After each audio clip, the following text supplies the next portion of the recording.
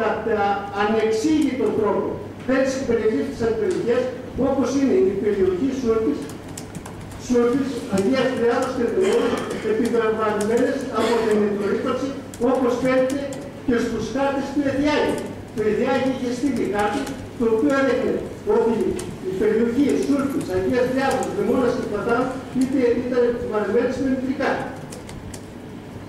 Και η περιοχή αυτή είναι ζώνη υψηλή και μέση επικίνδυνοτητα.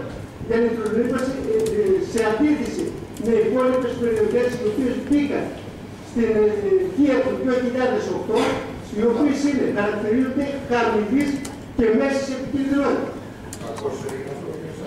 Κακώς.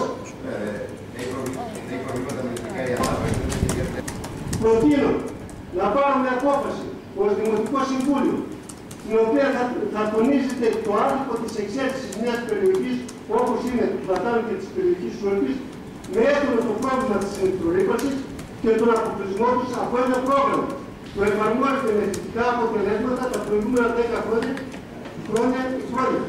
Την αποστολή της απόφασης στα αρμόδια Υπουργεία, Ελληνικά και Αγροτικής Ανάπτυξης και σε όλους τους τοπικούς παράγοντες, βουλευτές, περιφερειάρχες κλπ. προκειμένου να πιέσουν για τη λύση του προβλήματος. Ευχαριστώ.